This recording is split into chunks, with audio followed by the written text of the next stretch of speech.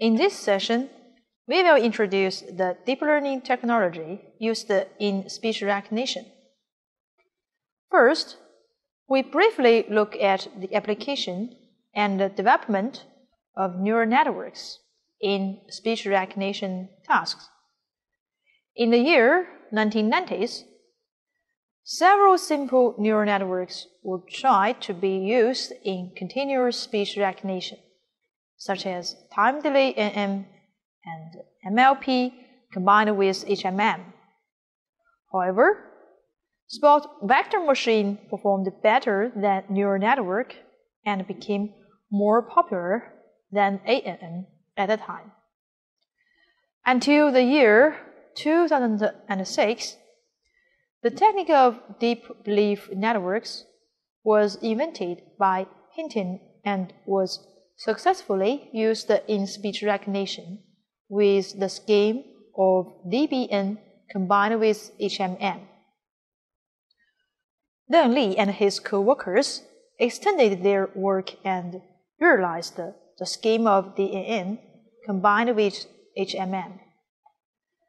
Speech recognition has entered the DNN era, and the accuracy has been significantly improved. In 2011, Microsoft researchers demonstrated that deep neural networks interfaced with a hidden Markov model with context-dependent states that define the neural network output layer and can dramatically reduce errors in large vocabulary speech recognition tasks, such as voice search. In 2011, Google launched the DNN ASR products from the year 2012, deep learning technology began to widely studied. Hinton and other co-authors provide uh, an overview of the progress and successes in using DNN for acoustic modeling and give a dominant paradigm for ASR.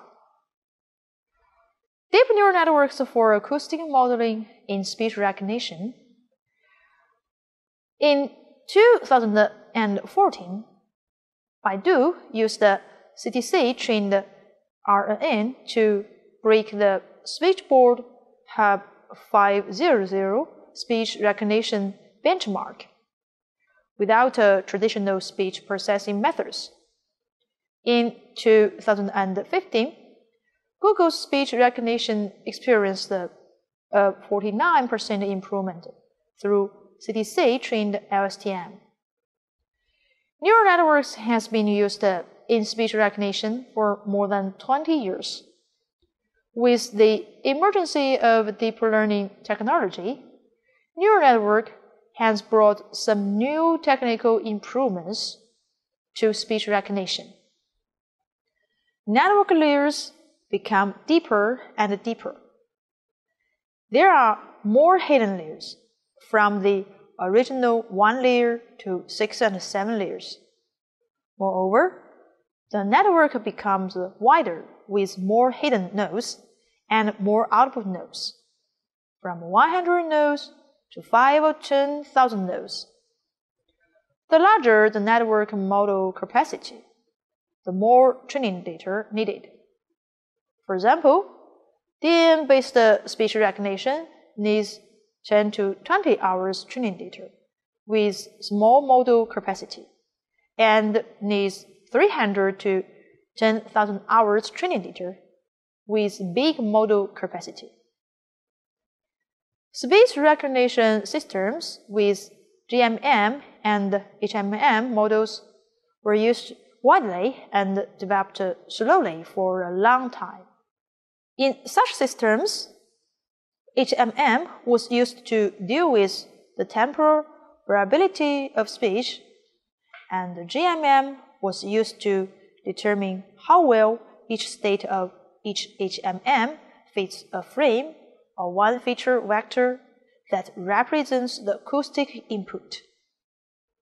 An alternative way to evaluate the fit is to use a feed-forward neural network that takes several frames of coefficients as input and produces posterior probabilities over HMS states as output. Deep neural networks with many hidden layers that are trained using new methods have been shown to outperform Gaussian mixture models on a variety of speech recognition benchmarks. In the year 2010, Yu Dong and Deng Li of Microsoft Research applied DNN technology to continuous speech recognition tasks with large vocabulary, that is, LVCSR task, which greatly reduced the, the speech recognition error rate. DNN model for large vocabulary have 800 input features, 5-layer network, 1,000 neurons per layer, 8,000 audible labels, and 12 million weights. The training data includes 1,000 hours of speech with transcriptions and need one week training time on GPU farm. Compared with CDGMM HMM, the new reckoning system, CD DNN HMM, improved 5.8% and 9.2% accuracy with minimum phone error MPE and maximum likelihood ML criteria. Google's DNN speech production systems in 2013 have the information of neural networks as follows. The inputs use 26 frames of 40 dimensional filter bank. There are eight hidden layers of 2,560 hidden units. Activation function uses rectified linear units, ReLU, which was proposed by Zeiler in 2013. There are 14,000 outputs. The deep models have 85 million parameters trained on 2,000 hours of speech data and run quantized with 80-bit integer weights. On Android phones, it can run a smaller model with 2.7 m parameters. There are many variants of neural network for ASR. Convolutional neural networks were used for speech recognition in 2012. CNN model convolves a filter with the input. Weight sharing saves parameters and gives invariance to frequency shifts. Recurrent neural networks keep one frame at a time but store a history of the previous frames, so could theoretically model long-term context. Long short-term memory was improved and promoted by Graves in 2013. It is a successful spe specialization of the recurrent neural networks with complex uh, memory cells. The spectrogram obtained by the analysis of the entire speech signal is treated as an image, and the deep convolutional network widely used in image can be used to recognize it. Applying the idea of convolutional neural network to the acoustic modeling of speech recognition, the invariance of convolution can be used to overcome the diversity of the speech signal itself. The CNN has three key properties locality, weight sharing, and pooling. Locality in the units of the convolution layer allows more robustness against the non-white noise, where some bands are cleaner than the others. Weight sharing can also improve model robustness and reduce overfitting as each weight is learned from multiple frequency bands in input instead of just from one single location. In pooling, the same feature values computed at different locations are pooled together and represented by one value. The hybrid CNN-HMM framework uses a softmax output layer on top of the CNN to compute the posterior probabilities for all HM states. These posteriors are used to estimate the likelihood of all HMM states per frame. Finally, the likelihoods of all HMM states are sent to a Viterbi decoder to recognize the continuous stream of speech units. In 2015, researchers proposed the CLDNN, CNN plus LSTM plus DNN framework to learn the speech front end with raw waveform. For deep modeling capacity, DNN is suitable for feature mapping to independent spaces. LSTM has long and shorter memory capacities, and CNN is good at reducing the diversity of speech signals. So a good speech recognition system is a combination of these networks. In recent years, speech recognition has entered an area of end-to-end processing. The end-to-end recognition method mainly changes the cost function, but the model structure of the neural network has not changed much. The acoustic model using CTC, connectionist temporal classification, as the loss function does not need to align the data in advance. Only one input sequence and one output sequence are needed to train the model. In 2015, Google designed a speech recognition system with CTC trained LSTM.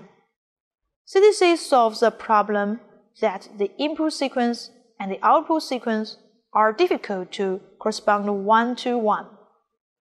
CTC introduces a new loss function to make RNN network directly use the unsegmented sequence for training. CTC can achieve both alignment and recognition. As shown in the figure, RNN CTC actually delegates the alignment of HMM to the output layer of the network. In 2015, Baidu proposed the Deep Speech 2 system which uses end-to-end speech recognition in English and Mandarin. The system showed good performance when it was trained on 12,000 hours of conversational read mixed speech and used the non-layers RNN with CTC cost. End-to-end -end refers to directly inputting raw data letting the model learn the features by itself, and finally outputting the result. There are no longer independent acoustic models, pronunciation dictionaries, language models, and other models in the system. Instead, a neural network is directly connected from the input, speech waveform or feature sequence, to the output, word or character sequence. To make this neural network to assume the functions of all the original models. One of the challenges of end-to-end deep learning is that it requires a lot of data to make the system perform well. Let's have a summary of deep learning in speech recognition. Most of the recognition systems with deeper models still combine HMM technique or make use of its idea. We can directly model a context-dependent tied triphone states through DNN. The training criterions include cross entropy loss and then MMI, maximum mutual information loss, with sequence level. Features used in deep models include mel frequency cepstral coefficients, MFCC, and then filter banks. There are some training and regularization techniques such as batch normalization, distributed SGD, stochastic gradient descent, and dropout to improve the efficiency and generalization of model training. The acoustic modeling can use different types of network structures like uh, CNN, CTC, and CLDNN. Language modeling often use RNN in rescoring paths. When using deep learning technology in speech recognition, the model training needs even more data and more diverse, such as noisy, accents, and so on. And even more GPUs will be used to enhance the computing efficiency.